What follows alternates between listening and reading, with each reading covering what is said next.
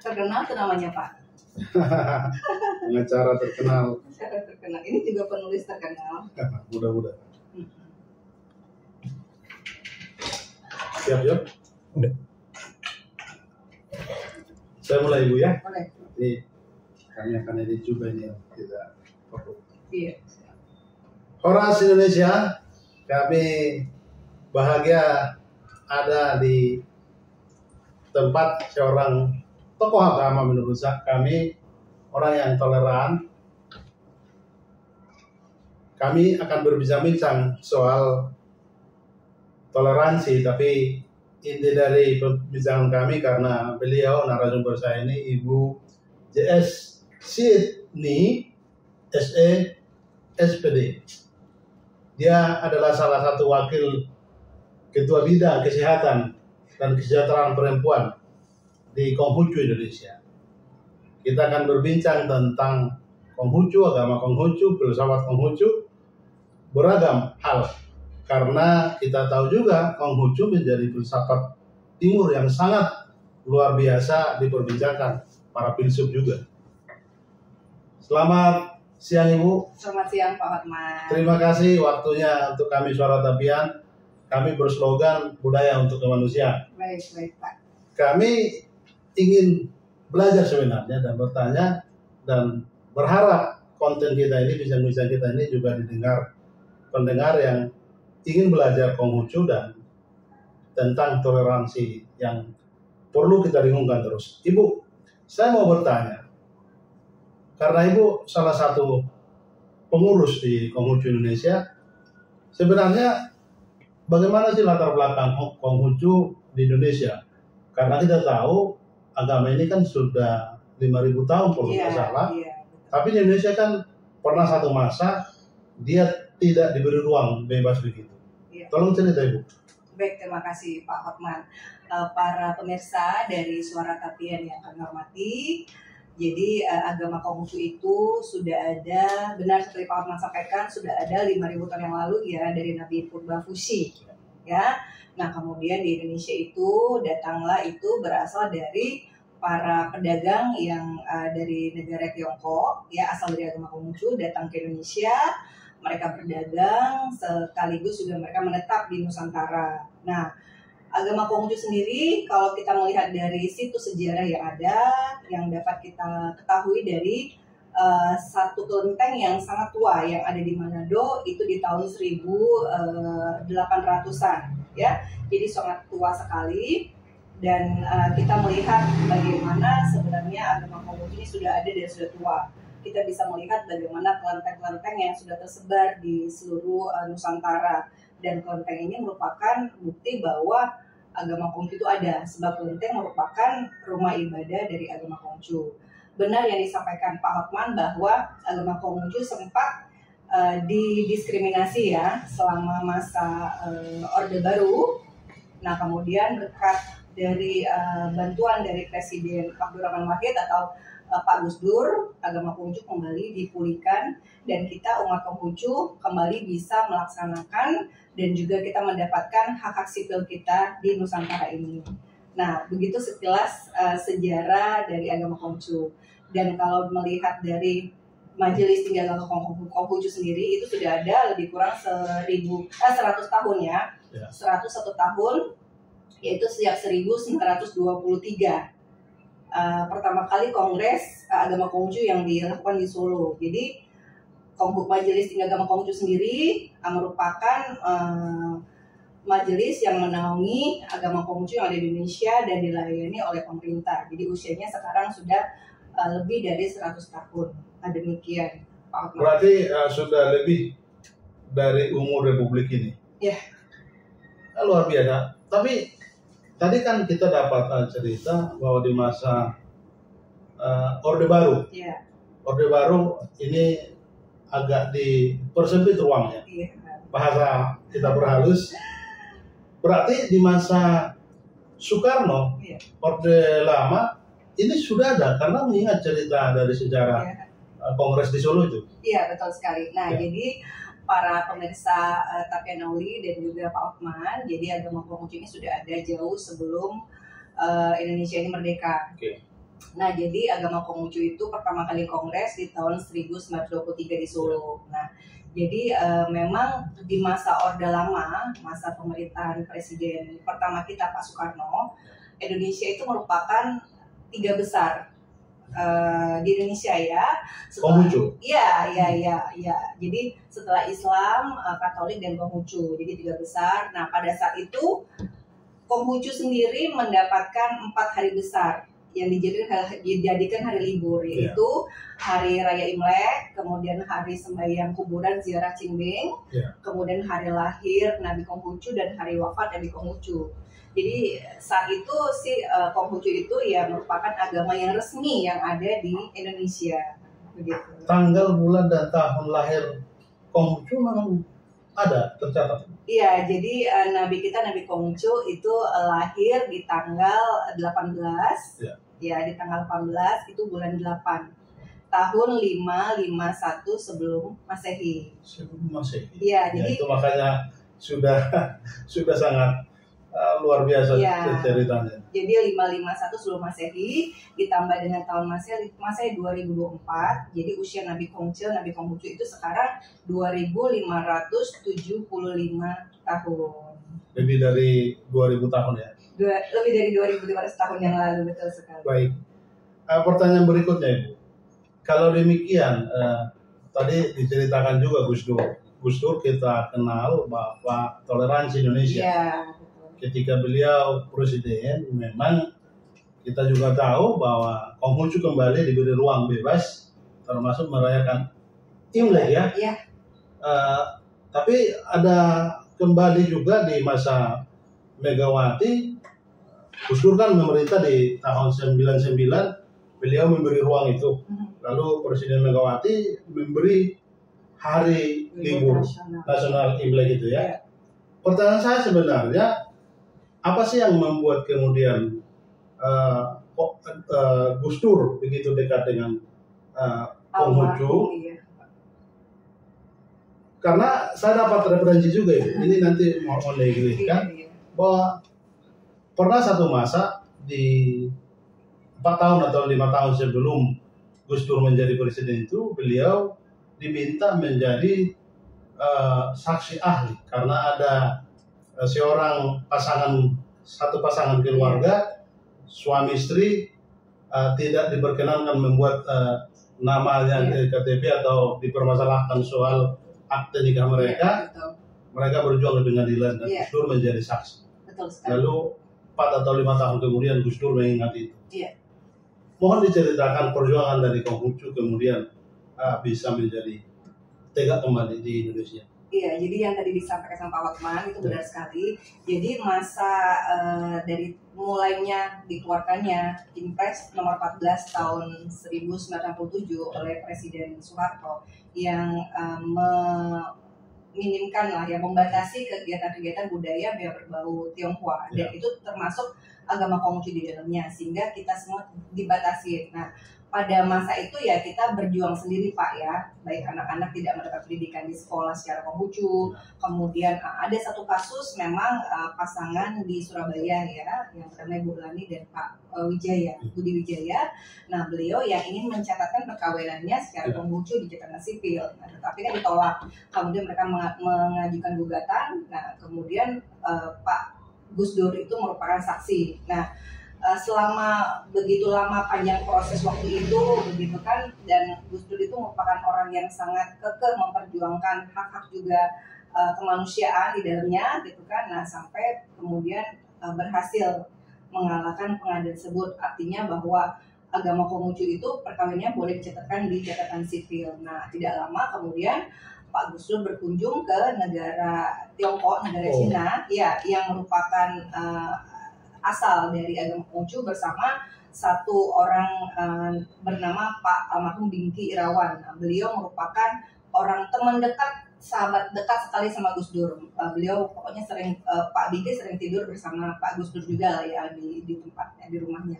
Nah kemudian uh, beliau melihat bagaimana agama Konghucu di negaranya itu tidak menyalahi dari rasa kemanusiaan maupun tidak ada sesuatu yang tidak benar. Nah, sehingga ketika kembali ke Indonesia dan beliau menjadi presiden, beliau mencabut larangan Impres nomor 14 tahun 67 dan menggantikannya dengan keputusan nomor 6 tahun 2000 yang memulihkan kembali uh, suku, agama, budaya Tionghoa termasuk Konghucu di dalamnya. Dan sekarang ruang itu sudah diberi uh, sangat luas, Yes. termasuk Dimas Konghucu juga ada Uh, di Kementerian Agama. di kementerian kita itu uh, disebut Pusbimdik ya Oke. pusat bimbingan dan pendidikan Konghucu ya Oke. Uh, ada di Kementerian Agama jadi kita bukan Dimas tapi uh, uh, Pusbimdik Kapusbimdik ya Oke. pusat bimbingan pendidikan Konghucu Tapi Ibu, kita agak sulit juga. Saya Kristiani, Ibu. Hmm. Eh, kita berteman. Agak sulit juga melihat perbedaan Konghucu dengan eh, Buddha begitu. iya iya Eh, karena terkesan kan sama-sama tempat ibadahnya. iya Apa yang membedakan sebenarnya agar bukan perbedaan itu yang kita Iya. tonjolkan agar kita juga eh, mudah mengerti begitu. baik nah jadi sangat berbeda sekali ya jadi kalau agama Buddha itu kan asalnya dari India Iya benar. kalau agama Konghucu asalnya dari Tionghoa. negara eh, China atau Tiongkok sekarang Tiongkok. disebut. Nah kemudian kalau eh, rumah ibadah, kalau agama Buddha itu vihara, kalau Konghucu itu kelenteng yang ornamennya warna merah-merah di dalamnya dan ada simbol-simbol naga. Kalau nabinya, kalau agama Buddha nabinya Siddhartha Gautama, Ya. kalau agama Konghucu Nabi Kongce atau Confucius. Nah kalau kitab sucinya, kalau agama Buddha Tripitaka, kalau agama Konghucu adalah Sesu Ucing. Ini ada buku. Iya, eh, boleh ceritakan. ini Ini, juga kitab iya. Konghucu. Ya, jadi ini eh, ada eh, buku kitab agama Konghucu. Kalau ini namanya Sesu Ucing. Oke. Ya, jadi ini di dalamnya ada empat, empat bagian. Jadi Apa apa di empat bagian ini? Iya, empat bagian itu pertama uh, Tasye, ajaran besar. Iya. Yang kedua Chongyong, tengah sempurna. Iya. Yang ketiga Lunyu atau sabda suci Iya. Nabi. Dan yang keempat adalah Mengce. Nah, sebelum kita itu mempelajari? Artinya. Oke, kalau yang uh, pertama Tasye itu Iya. adalah pedoman kita hidup membina diri. Oke. Sebelum kita mengurusi hal yang lebih besar, utama itu kita harus membina diri dulu. Iya. Nah, itu Tasye. Nah, Tasye ini pada zaman-zaman dahulu, masa-masa pemerintahan Tiongkok masih berupa dinasti, setiap kali yang ingin menjadi pejabat, beli mereka harus menguasai Tasye. Ya, jadi kita lihat kenapa negara Tiongkok begitu besar karena memang mempelajari Tasye. Jadi sebelum kita mengatur suatu negara itu harus membina diri yang pokok dulu. Ya. Nah, baru di dalamnya kita kedua yaitu Chongyong atau tengah sempurna. Itu berisi bagaimana hubungan kita dengan orang lain. Oke. Bagaimana kita harus tengah ya di dalam kehidupan. Nah, kemudian yang ketiga Lunyu atau sabda suci Oke. ini berisi percakapan Nabi Hongce dengan murid-muridnya yang dibukukan. Hmm. Dan yang terakhir itu berisi Mengce. Mengce merupakan nama dari uh, rasul kita Yasheng kita Mengce yang hidup 100 tahun setelah Nabi Hongce. Beliau merupakan penegak dari ajaran Ruciao atau ajaran Konghucu yang pada masa itu uh, sempat dimusnahkan. Kemudian beliau menegakkan kembali dan sampai sekarang agama Konghucu tersebar dan ada di Nusantara salah satunya. Lalu yang buku tiga ini tentang Nah. apa ini? Kalau ini adalah uh, kitab suci, ini adalah kitab I Ching. Oke. Jadi agama Konghucu milik kitab namanya Sesu dan Ucing. Sesu artinya empat bagian, yang ini empat bagian. Ya. Ucing ada lima bagian. Nah lima bagian ini yaitu I Ching. I Ching ini adalah kitab perubahan alam semesta. Oh, Dari sini kita tahu bagaimana alam ini dibentuk dan uh, semesta dan semuanya. Ini adalah kitabnya. Kitab Icin ini juga berasal dari Wahyu. Jadi ini bukan hanya ditulis tetapi dari Wahyu. Ini juga kitab ini dari uh, Nabi Fusi ya dari 5000 tahun yang lalu. Ya. Jadi kalau kita mempelajari kitab Icing ini ya kita bisa melihat Hong Sui, Feng Shui, Oh. kita bisa melihat apa Pace, tanggal lahir kita, tentang bagaimana uh, kehidupan alam semesta yang ada di dunia ini. Ini Pak, kitabnya. termasuk Imlek juga dibahas di. Iya, tentang eh, tanggal tanggal maupun tahun Ya. yang beredar ya. eh, semuanya ada di sini, Oke. ada di sini. Lalu buku yang Kalau ini adalah kitab saja. Oke. Kitab saja ini ditulis oleh Nabi Kongja sendiri. Nah ya. Kemudian kalau ini kitab Suking ya, kitab tentang dokumen sejarah, sejarah agama Konghucu bagaimana. Ini ada di sini. Oke. Iya. Gitu. Salah satu ya Pak. Jadi ada masih kurang dua lagi tapi lebih kurang sih seperti ini kitab suci agama Konghucu nah. Karena agama Konghucu begitu sejarahnya luar biasa, ya sudah ribuan tahun dan banyak literasinya. Iya. Tentu sekarang setelah menjadi agama resmi kembali di masa kita ini di Indonesia khususnya, ya bagaimana perkembangan agama Konghucu, termasuk lembaga pendidikannya, termasuk anak-anaknya, sudah ada mata pelajaran khusus Konghucu dari pendidikan formal misalnya dari SD sampai perguruan tinggi. Ya, jadi terima kasih Pak. Jadi sejak tahun 2000 setelah agama Konghucu resmi kembali ya diizinkan oleh pemerintahan ya, kemudian sudah mulai para guru-guru membuat buku. Jadi buku kita sudah ada Pak lengkap.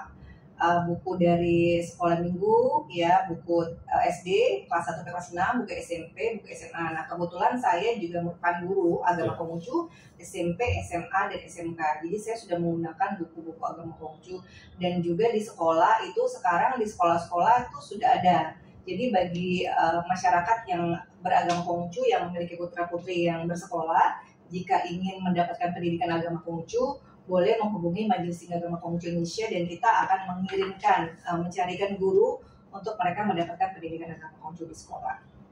Jadi eh, tidak ada lagi dibatasi Bu ya? Tidak. Pak. Tidak, tidak sudah bebas. Termasuk kami dengar eh, ada sekolah tinggi juga di Purwokerto ya di, Iya. di Jawa Tengah. Iya, betul sekali. Boleh ceritakan itu? Iya. Ya, nanti lulus dari situ bisa jadi apa? Jadi guru kembali. Iya, nah, jadi uh, di Indonesia sangat beruntung sekali kita punya namanya Sekolah Tinggi Konghucu Indonesia atau STIKIN ya yang sudah ada sejak tahun 2020 Oke. di Purwokerto. Dan uh, saat ini jumlah mahasiswanya sudah sampai ke angkatan kelima Oke. saat ini ya. Dan uh, pesertanya atau mahasiswanya itu berasal dari seluruh Indonesia karena kemarin karena kebutuhan dan juga karena masa COVID, jadi kuliahnya masih berupa online. Nah, jadi sangat terbantu sekali kita dengan adanya sedikit ini. Jadi para guru-guru yang ada di seluruh Indonesia itu bisa bersekolah dan lulusannya nanti mendapatkan gelar SPD. Ibu juga lulus eh, eh, sekolah tinggi Konghucu. Iya, saya juga bersekolah di Stikin, Sekolah Tinggi Indonesia, dan saya kemarin di wisuda di bulan Februari bersama teman-teman saya di Purwokerto. Terkesan kalau kita dengar penjelasan Ibu, Konghucu ini, agama Konghucu ini kan spiritnya sepertinya eh, menduplikasi, mengajar begitu. Iya, Roh, kalau saya pakai eh, kata roh ya.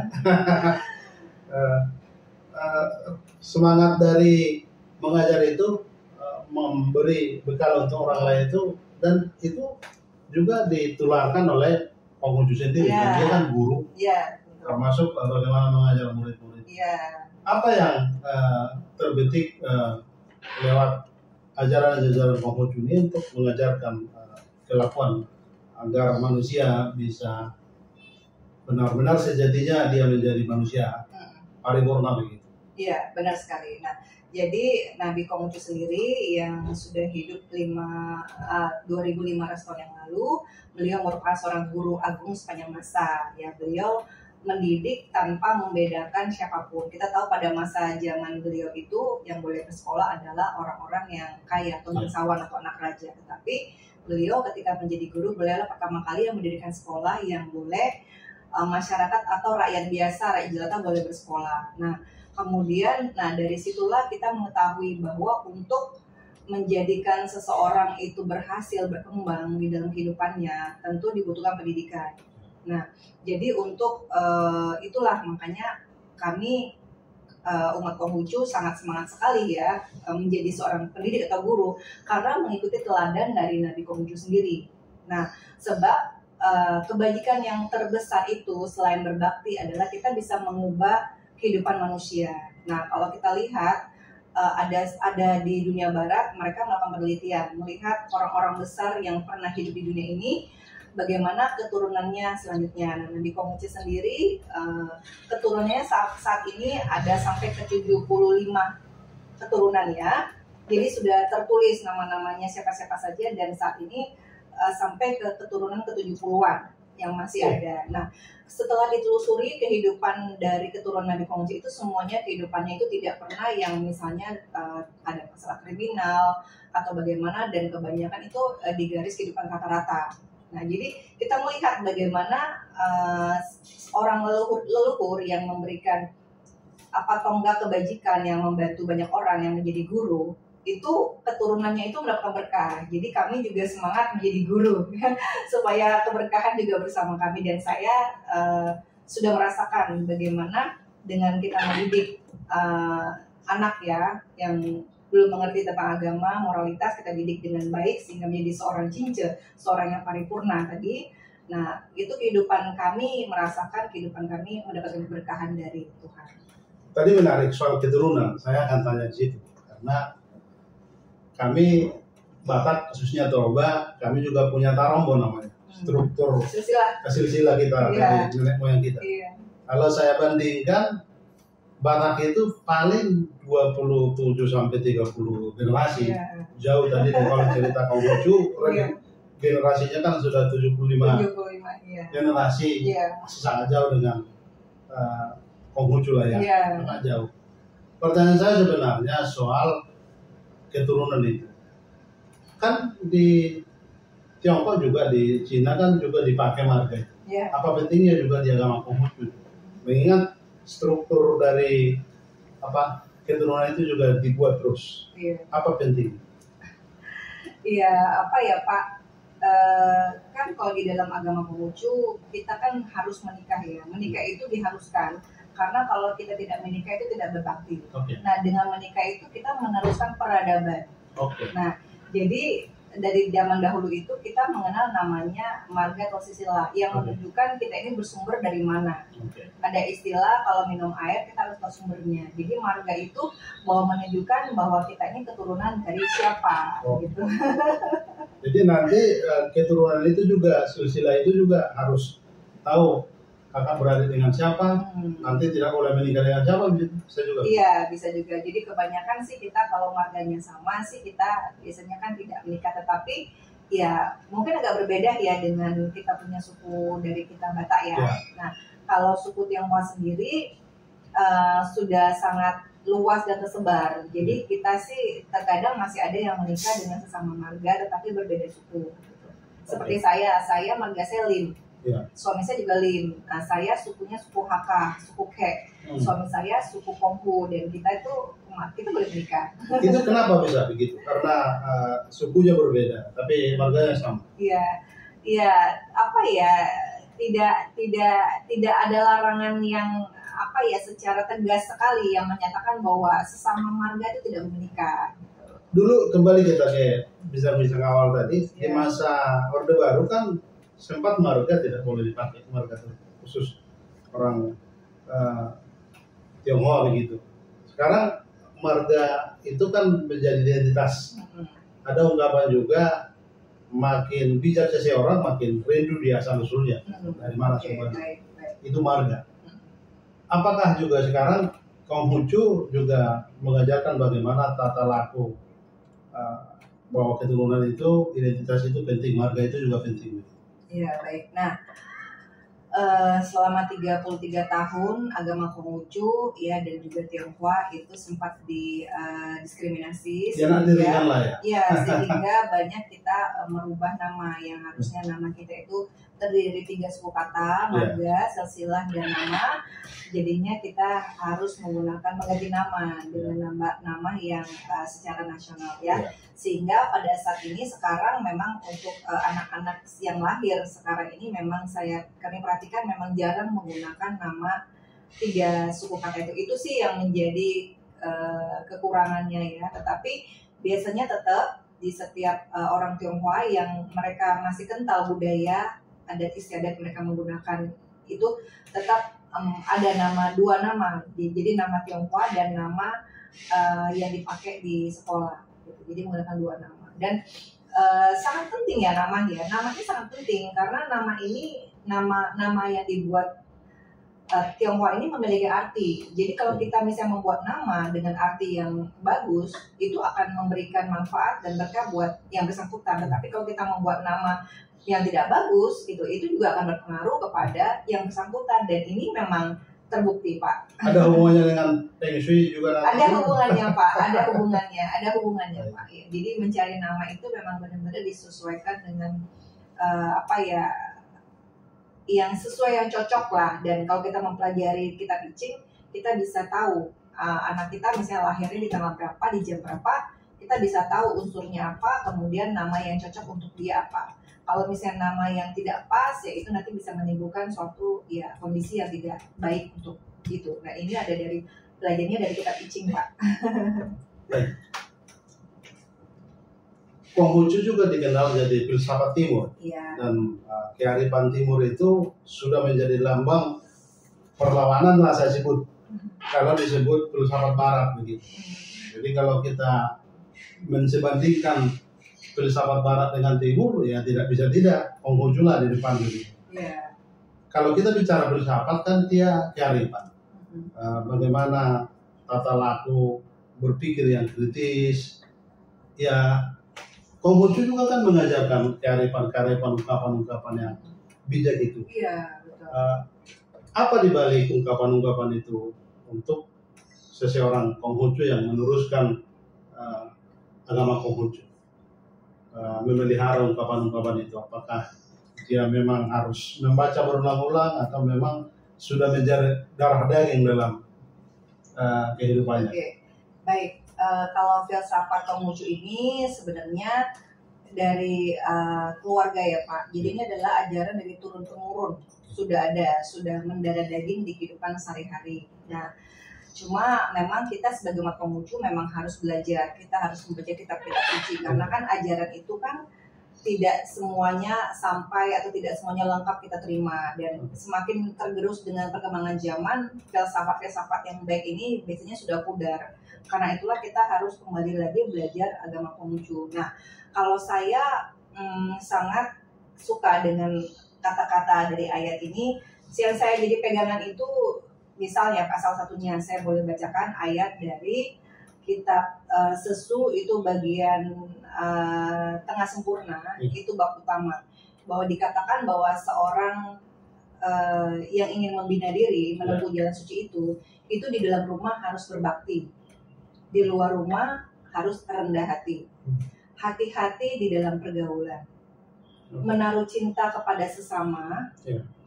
dan jika ada waktu mempelajari kitab-kitab. Nah itu merupakan salah satu pedoman hidup saya. Jadi eh, setiap umat Konghucu di dalam rumah mereka hendaklah berbakti. Nah dalam agama Konghucu itu bakti yang paling utama. Dari ajaran dari baktilah agama Konghucu berkembang. Jadi sumbernya dari bakti dulu atau syia gitu kan. Jadi makanya umat Konghucu di setiap rumah biasanya ada tempat ibadah, sembahyang, altar leluhur orang tua. Nah kemudian diajarkan oleh Nabi bahwa di luar rumah kita harus hati-hati. Jadi di dalam rumah berbakti, di luar rumah kita harus hati-hati dan rendah hati. Itu sangat penting. Saya pikir itu pedoman hidup kita. Karena di luar sana kita banyak bertemu dengan orang yang tidak kita kenal, maka itu kita harus rendah hati, jangan sombong.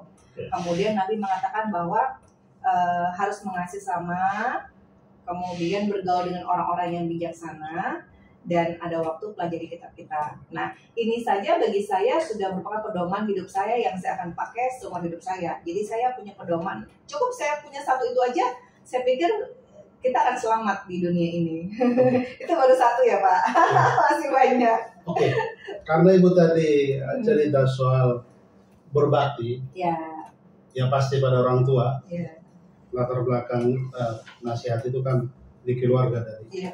Sebelum saya ketemu ibu dalam uh, beberapa jam sebelum datang ke sini, Iya. saya menonton satu video dan baru video ini ada satu cerita yang sangat memiriskan di daerah Cilengsi. Dia punya anak uh, dan putri 10 eh, mereka orang tua yang sudah rentas sakit dan tertutup pintunya lalu bau eh, sangat menyengat keluar lalu dibongkar rumah itu ternyata mereka sudah meninggal yang saya mau ceritakan sebenarnya orang tua berdua ini meninggal eh, tidak pernah dilihat anak-anaknya padahal di Jakarta ini ada 10 orang uh, ini kan barangkali kita tidak uh, membahas soal siapa dia, tapi paling tidak kan fenomena-fenomena seperti ini kan terjadi juga. Banyak uh, anak-anak yang tidak bisa mengerti, memahami bagaimana berbakti pada orang tua. Pertanyaan ini saya akan lontarkan ke Ibu sebagai ajaran Konghucu. Konghucu kan juga mengajarkan bagaimana menghormati orang tua. Iya. Bahkan kami waktu datang ke sini di tol saya lihat ada satu gedung cap orang tua. Pasti orang Tionghoa yang buat itu. saya tanya juga nanti, Iya. saya kan lebih dalam hubungkan nanti pertanyaan ini dengan kemudian berusaha entrepreneur. Tapi pertanyaan soal menghormati orang tua itu bagaimana pesan moral di Konghucu? Oke, nah seperti yang saya sampaikan eh, dalam agama Konghucu kita ada namanya istilahnya Xiao atau bakti ya. Nah dari Xiao inilah agama Konghucu itu berkembang. Jadi itu sumbernya adalah Xiao. Jadi agama Konghucu sangat mengutamakan bakti. Jadi bakti itu adalah memuliakan hubungan antara orang eh, anak dan orang tua.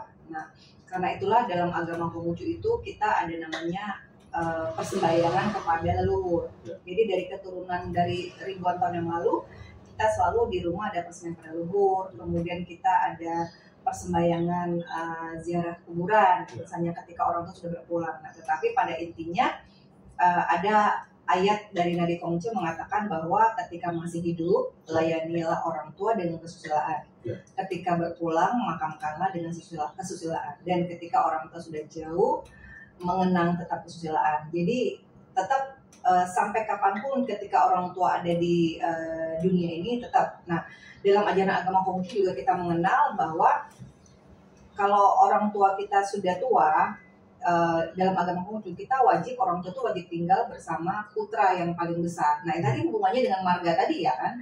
Jadi kalau agama Konghucu mengatakan bahwa kalau orang tua sudah tua itu wajib sekali tinggal sama anak lelaki yang paling tua dan kita mengurusinya ya mengurusi dari sejak dia sehat walaupun nanti mereka sakit dan berpulang itu itu nomor satu. Karena dalam agama Konghucu dari kata Nabi bersabda dari 100 kebaikan baktilah yang paling utama. Jadi jadi orang pengadil Konghucu itu paling takut kalau tidak berbakti atau di istilahnya itu puhau ya tidak itu kita paling takut. Karena keberkahan hidup kita itu dari situ. Kalau kita anaknya yang nggak berbakti sudah pasti rezeki kita juga akan akan akan nggak ada nah jadi Iya. umat Konghucu paling takut eh, dengan istilah tidak berbakti itu kita paling takut sekali begitu pak Dan Nabi Konghucu ini dikenal sangat dekat dengan ibunya iya karena bapaknya Iya, iya, iya. cepat uh, meninggal. ya. iya usia tiga tahun Ini saya akan bertanya soal uh, bagaimana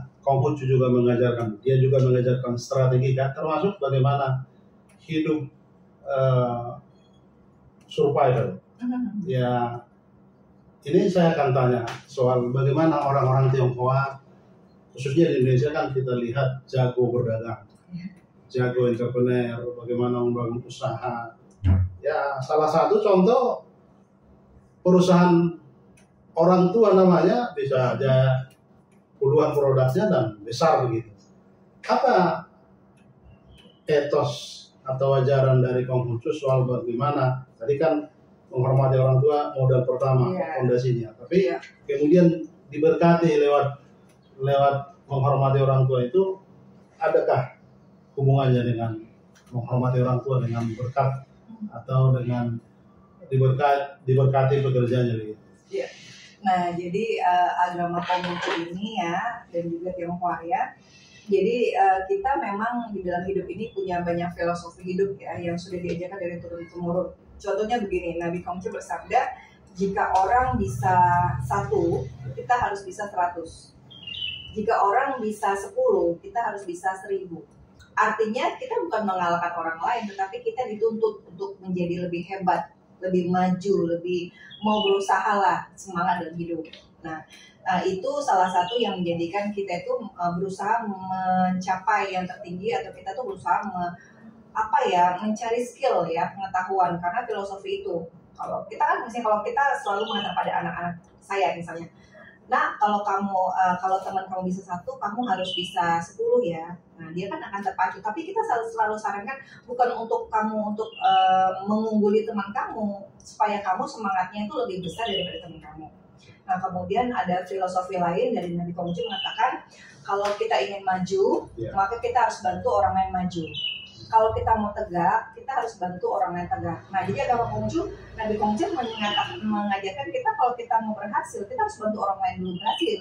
Para motivator bilang sukseskan orang lain dulu baru mau sukses gitu Nah, ya. itu adalah kata-kata ayat dari kitab susu kita, ayat dari Nabi Konghucu mengatakan. jadi kita harus bantu orang lain dulu uh, berhasil baru kita berhasil. Nah, jadi itu adalah memanusiakan manusia. Nah, di dalam kehidupan, di dalam kitab kita juga diajarkan bagaimana kita hidup hemat, hidup cermat, kemudian pengeluaran jangan lebih besar daripada pemasukan. Ya, itu semua ada diajarin. Jadi di dalam kehidupan filosofi orang Tionghoa ini itu cermat dan hemat itu diutamakan. Jadi kalau kita dapat 10, kita pakainya itu dua, 8-nya disimpan. Nah, jangan dapat 10 habis 10. Nah, itu nggak boleh. Jadi filosofi-filosofi ini dari temurun-temurun ini yang diajarkan hidup hemat, cermat dan sederhana. Kemudian lebih mau berusaha gitu kan, eh, lebih apa berusaha orang bisa satu kita bisa seratus itu kan mengajarkan kita harus put ya kamu harus begini. Nah kemudian Nabi Kongsil mengajarkan kita bahwa tidurlah lebih larut dan bangunlah lebih pagi. Karena sekejap mata waktu akan berlalu. Artinya kita ini jangan selalu santai gitu kan jangan bangunnya siang-siang hari. Nah jadi nah filosofi-filosofi tersebut yang menjadikan kita itu itu jadi pegangan hidup kita sehingga kita itu selalu orang yang mau belajar orang yang mau uh, membantu sesama karena diajarkan bahwa kalau kita mau berhasil kita harus bantu orang lain berhasil dulu itu sih salah satu uh, yang diajarkan oleh Nabi Pak Otman. Ibu, ini jadi teringat dua ungkapan seorang besar. Eh, Konghucu dengan Yesus Kristus. Iya. Di kitab kami, Alkitab ditulis itu. Iya. Ungkapan dari Konghucu kan, jangan lakukan eh, eh, sesuatu yang menyakitkan jika orang lain sakit. Oke, Karena yang- selera Pak. Apa yang Nah, nanti, apa yang diri sendiri tidak inginkan jangan berikan pada orang Iya. lain. tapi saya ingin eh, memberikan ungkapan itu. Ada di ungkapan Yesus juga tertulis di kitab kami. Iya. lakukan apa yang baik jika engkau mau dibuat baik begitu. Oh, oke. Jadi ada kemiripan. Iya betul. Apa apa makna dari ungkapan Konghucu? Oke, nah di kalau misalnya Nabi Kongce ditanya apa sih intisari dari ajaran agama Konghucu ini? Iya. Nabi Kongce mengatakan dua, satya dan tepasalira. Hmm. Ya, nah satya itu adalah eh, setia dan akan firman-firman Tuhan. Nah, tepasalira ini adalah apa yang diri sendiri tidak inginkan, Iya. jangan berikan kepada orang, orang lain. Kalau kita tidak mau disakitin, jangan menyakiti. Kalau kita tidak mau dicubit, ya kita jangan dicubit. Nah, Jangan mencubit. Iya, jadi jadi kalau kita misalnya ingin dihormati, maka kita hormati orang lain. Kalau kita mau eh, bahagia, kita bahagiakan orang lain. Kalau kita mau berhasil, ya kita berhasilkan orang lain. Ya, ajaran eh, agama mana pun ya juga mengajarkan hal yang sama. Nah, kalau memang Yesus mengatakan hal yang serupa, ya intinya memang kita diminta oleh Tuhan kita ya untuk kita itu eh, mengasihi sesama lah cinta kasih gitu kan kasih sayang itu sih intinya pak Ibu tadi saya dengar saya garis bawahi bahwa ajaran Konghucu ini ya, sudah menjadi darah daging bagi penganutnya karena diajarkan di rumah. Iya. Dan saya dengar juga bahwa latar belakangnya memang agama Konghucu nanti mohon dijelaskan Hmm. tidak pernah ada ibadah sebelumnya. Jadi karena itu tiap hari hari-harinya itu diajarkan di rumah, maka ibadah eh, bersama itu tidak ada. Nanti kemudian saya juga kemudian dengar ada ada kemiripan misalnya sekolah minggu di Hmm. karena ibadahnya hari minggu ya. Iya, Mohon jelaskan karena ibu pasti mendalami sejarah itu juga. iya baik terima kasih. Nah jadi uh, agama Konghucu sering dikatakan agama uh, keluarga Iya. karena uh, secara apa ya peribadahannya kita kan di rumah. Biasanya orang tua kami terdahulu itu memang uh, hanya sesekali ke rumah ibadah ketika hari-hari besar saja, Iya. Imlek atau hari-hari besar. Nah sisanya kami di rumah diajarkan sembahyang dengan menggunakan uh, hio ya, hio tiga batang. Biasanya uh, di hadapan Tuhan kita bersembahyang gitu kan.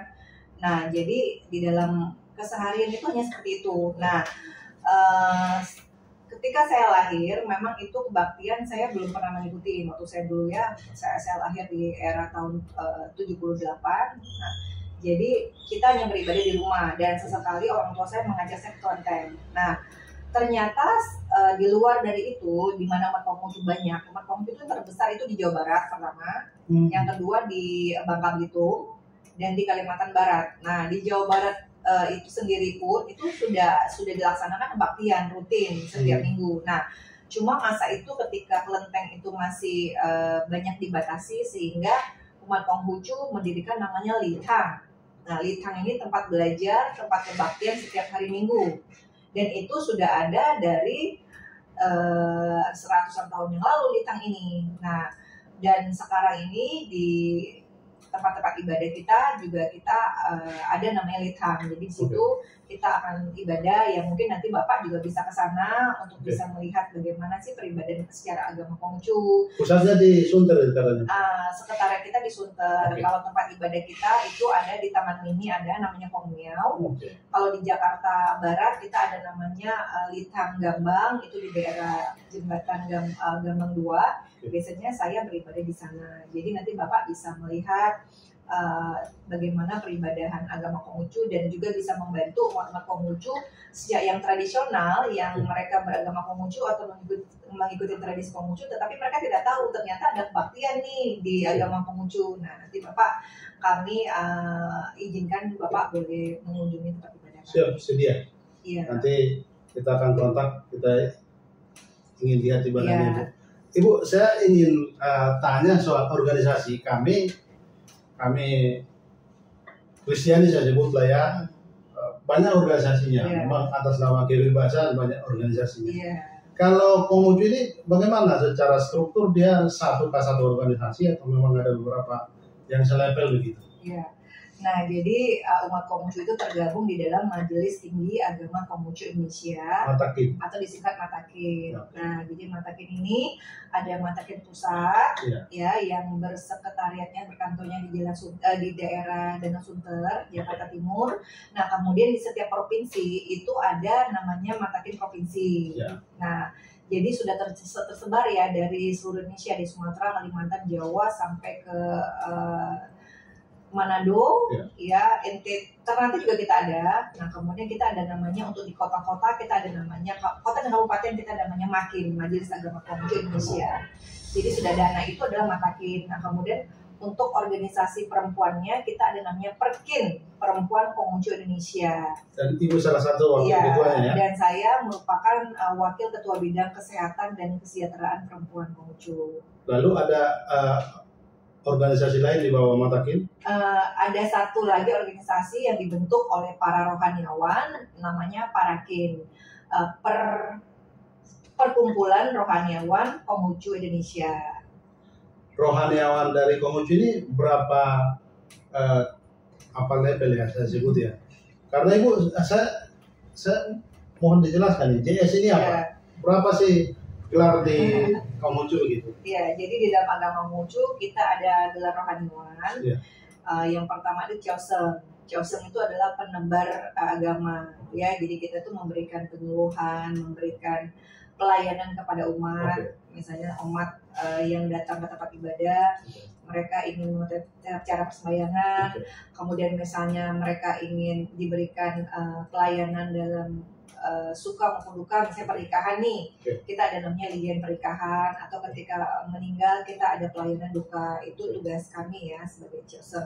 Nah kemudian ada namanya wense, Oke. ya wense itu adalah guru uh, agama Konghucu, ya lebih kurang tugasnya sama ya, cuma kalau wense ini sudah lebih tinggi tingkatnya Lebih ke pendidikan formal. lebih ke pemahaman tentang kitab dan Oke. agama itu wense Oke. iya Tafsir tafsir juga. iya gitu. tafsir dan kemudian ada namanya shese shese ini memang seperti kita bilang uh, ulama lah ya pendeta Pendeta ya, pendeta pemimpin eh, pemimpin organisasi di satu tempat. gitu. Uh, uh, pokoknya mereka ini sudah senior lah Oke. Sudah senior uh, boleh dimintai apa di- diminta apa misalnya wejangan dan sebagainya lah misalnya kita ada sesuatu pokoknya secara spiritual tingkat spiritualitasnya lebih tinggi kalau sudah mencapai sesuatu Baik Ibu, saya akan tanya beberapa pertanyaan soal toleransi. ya Konghucu ini kan filsafat juga dikenal. Ah, kalau bicara filsafat kan bertanya, kritis. Itu dalam tanda kutip ada perdebatan di sana, bisa diperbincangkan begitu. soal Jawa. Tapi terkesan saya lihat tidak pernah saya temukan misalnya orang yang beragama Konghucu berdebat khusus soal mempertahankan agamanya berbeda dengan kami misalnya kami bisa berdebat khusus begitu dengan yang lain begitu apa yang diajarkan Konghucu padahal filsafat Ya. yang harus diperdebatkan diperusingkan begitu Iya. Nah, jadi eh, saya jelaskan tentang pengertian tentang agama Konghucu. Agama Konghucu ini kalau di eh, aslinya disebut Rujiao. Nah, Ruj itu kalau di Tiongkok di kalau kita ke Cina, kita bertanya tentang agama Konghucu tidak ada. Mereka eh, disebut Rujiao. Nah, jadi Rujiao ini artinya eh, agama bagi orang-orang yang lembut hatinya Hmm.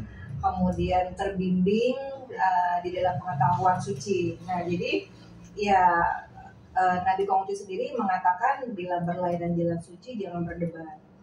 Jadi bila berlainan jalan suci Oke. jangan berdebat. artinya kalau kita berbeda agama jangan berdebat Ya, kita tidak mem- mempeributkan uh, agama lah. Jadi kami tidak pernah mempeributkan agama apa pun sama aja. jadi agama itu jalan suci sebenarnya Jalan suci, ya. jadi kita memper- eh, jangan perlu tidak perlu berdebat ya Iya, pegang aja iya. Iya. Nah, kemudian di dalam agama Konghucu ini uh, di, dibimbingkan oleh Nabi, kita itu ada namanya Yin Yang, Iya. filosofi Yin Yang. Iya. Nah, Yin Yang ini sebuah lingkaran yang terbagi dua, yang dibagi terbagi dua ini di setiap titik hitam itu ada putihnya dan di setiap titik putih ada hitamnya. Artinya bahwa di dunia ini itu tidak ada yang sempurna. itu bukan diajarkan Taoisme Nah, jadi begini, Iya. Uh, Taoisme itu dengan Konghucu itu sumbernya sama. oh Nah, sumbernya sama, sebenarnya sumbernya sama dari Oke. dari I Ching, sumber sama, cuma dibawakan oleh nabi yang berbeda. Jadi Nabi Kong- Konghucu sendiri men- mengajarkan tentang Konghucu, sementara Lao Tzu atau eh, nabi dari Taoisme mengajarkan tentang Tao, tapi sumbernya sama. Nah, dua tokoh berbeda ya dua tokoh berbeda ya, tetapi tetapi di, di masa yang sama dan Nabi Konghucu sendiri pernah berdiskusi dengan Lao. Oke. Nah, jadi tidak tidak tidak masa berbeda, masa yang sama. Nah, di dalam uh, agama Konghucu kita mengenal istilah yin yang. oke Yin, yin yang itu artinya negatif, positif, uh, laki-laki, perempuan, kemudian uh, siang dan malam, ya baik dan hitam buruk. putih Hitam begitu putih itu semuanya sebenarnya di dalam kehidupan ini semua yin yang. Jadi kita ini berbeda, tetapi kita tuh saling saling, Saling membutuhkan ya. seperti laki-laki perempuan. Kita nggak mungkin ada laki-laki saja tanpa perempuan. Ya. Tetapi laki-laki itu man from Mars, woman from Venus, tapi berbeda sekali kita pak. Tetapi kita harus Saling melengkapi. Nah, di dalam agama Konghucu tuh kita dikenal dengan istilahnya konsepnya itu cong atau tengah sempurna. Jadi kita nggak boleh berlebihan dalam uh, sesuatu hal dan nggak boleh kekurangan. Nah, di dalam kehidupan, di dalam jalankan agama juga kita nggak boleh ekstrim banget, tidak boleh Iya, kita harus moderasi beragama. Jadi moderasi ber- beragama itu sudah ada di dalam ajaran agama Konghucu. Makanya kita umat Konghucu tidak mempeributkan jalan suci karena masing-masing jalan suci itu baik. Gitu. kan. Jadi kita nggak mempeributkan. Nah, dari cong tengah ini yang memang jadi patokan hidup kita. Nah, itulah yang mengajarkan kita punya toleransi. Kita harus mengalah, kita harus tenggang rasa dari cong ini tadi Pak. Kita nggak boleh maksain, oh ini harus begini. Dengan pendapat saja, misalnya kita nggak boleh maksain. Nah, Saya berikan contoh tentang toleransi atau uh, sesuatu itu tidak mutlak ya. Jadi gini, suatu hari Nabi Nabi Kongce itu punya 3000 murid dan 72 murid yang bijaksana. Nah, salah satu muridnya bernama Yan Hui. Nah, Yan Hui ini adalah paling disayang sama Nabi Kongce. Nah, suatu hari Yan Hui ini sedang ke pasar. Sedang ke pasar, kemudian dia mendengarkan peributan antara penjual kain dengan pembeli kain. Hmm. Ribut, ribut, ribut. Nah, kemudian eh, penju, eh, pembeli kain mengatakan bahwa 8 kali 3 itu adalah 23. Iya. Nah, sementara kemudian Yan Hui mengatakan, oh 8 kali 3 itu 24. Nah, mereka ribut, ribut, ribut, ribut. Kemudian sampai di masa mereka mengatakan, kata pembeli kain mengatakan, ya sudah kalau 8 kali 3, 24, saya berikan eh, nyawa saya. Hmm. Nah, kalau si Yanu mengatakan oke kalau 8 kali 24 itu saya benar, eh, sa- saya ka- 8 kali 3 itu 23, berarti saya kalah, saya akan berikan topi saya. Nah, kemudian oke baiklah kalau begitu kita bertemu dengan Nabi Kongce. Nah, Nabi Kongce saat itu sudah sudah diketahui bahwa dia merupakan orang yang arif, bijaksana dan seorang nabi. Bertemu sama Nabi Kongce. Setelah Nabi Kongce mengetahui hal, hal tersebut, Nabi Kongce mengatakan, oke okay, katanya yang benar itu 8 kali 3 23. Jadi Yan Hui berikan topi kamu kepada pembeli kain. Nah, nah dari situ Yan Hui berkata, kenapa kok guru saya bijaksana mengatakan seperti itu. Padahal yang benar kan 8 kali 3, 24. Nah, Nabi Kongce mengatakan bahwa di dalam kehidupan ini kita mengutamakan kebenaran, tetapi cinta kasih dan bijaksana itulah yang nomor satu. Nah, hmm. jadi kalau dibilang mengenai toleransi dan kehidupan ini, kita untuk apa sih kekeh terhadap sesuatu yang akan nanti mengakibatkan itu sesuatu jadi masalah besar. Nah, bagus kita meminimalkan masalah, tetapi itu tadi intinya kita mengalah. Nah, mengalahkan bukan berarti kalah. Nah, itu sih uh, dari ayat-ayat dari kata-kata cerita tersebut ya kita tuh jadi orang nggak boleh kekeh sekali mempertahankan prinsip kita, tetapi kita harus mengutamakan cinta kasih di dalamnya. Ini pertanyaan terakhir ini soal toleransi juga. Seingat saya, saya agak belajar juga ya, saya agak mencari literasi juga tentang Konghucu. Beliau pernah mengajarkan atau ditanya satu waktu bagaimana kalau satu negara mengalami kesusahan. Jadi strategi bagaimana bertahan, mana yang lebih utama masyarakat, kebenaran atau uh, militer atau pangan gitu, yeah, ada empat yeah. Yeah. Pertanyaannya hubungannya dengan toleransi bagaimana Konghucu mengajarkan? Ya tadi kan sudah jelas bahwa kita mengutamakan cinta kasih. Tapi tentu kan toleransi juga bukan hanya didiamkan harus bergerak harus juga terlihat begitu. Bahwa memang kita harus bertahan di agama kita tapi tidak perlu menyentuh agama orang lain. Tapi aksi nyata itu bagaimana kita terlihat? Bahwa kita menghargai kemanusiaan kita hadir di situ. Apa yang dilakukan Konghucu uh, saya sih tidak secara pernah membaca tentang hal tersebut ya Pak ya. Saya sih tidak melihat, tetapi yang saya lihat dari ajaran-ajaran yang disebarkan sampai dengan sekarang, ya Konghucu mengajarkan kita untuk kita itu tenggang rasa, punya toleransi, punya sikap tenang terhadap orang lain uh, saya sih tidak pernah membaca atau mendengar bahwa tentang uh, perbedaan uh, apa prinsip atau agama yang uh, membuat Nabi Kongsi itu bertindak atau perbuatan dia yang bisa kita ambilkan contoh teladan. Tetapi dari cerita-cerita maupun sabda-sabda maupun ayat-ayat yang disampaikan bahwa ya di dalam kehidupan ini ya yang kita utamakan itu adalah cinta kasih, kita mengutamakan toleransi, kita memanusiakan manusia itu sih Pak. Ya, terima kasih Bu. Tapi ini juga menarik jadi perjuangan orang beragama jalan suci tadi. Bagaimana penguju memahami soal surga? Karena misalnya kami Kristiani ya berjuang karena ada janji surga. Iya, iya. Nah, nah, nah, ini menarik Pak. Ini sangat menarik dan uh, ini juga ya setiap agama itu berbeda-beda ya Pak yang penting kita tahu tujuan baik ya. Nah di dalam agama Konghucu, di dalam kitab kitab suci agama Konghucu, Nabi Konghucu tidak pernah berkata tentang surga dan neraka.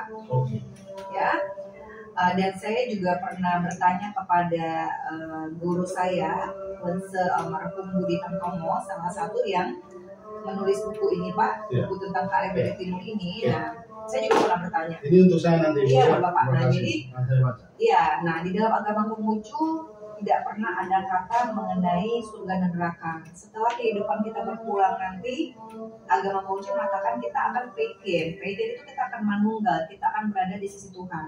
Dan kita tidak, maksudnya tidak ada ditempatkan di surga dan neraka. Tetapi surga dan neraka itu, itu diistilahkan adanya di dunia jadi kalau kita di dunia ini berbuat baik, berbuat uh, hal yang baik dan benar, maka surgalah kita di dunia. Tapi dan sebaliknya kalau kita berbuat tidak baik, kita berbuat jahat, neraka yang kita dapetin.